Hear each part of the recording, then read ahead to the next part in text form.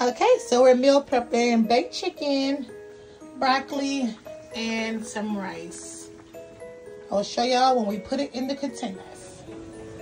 All right, guys, I'm about to prep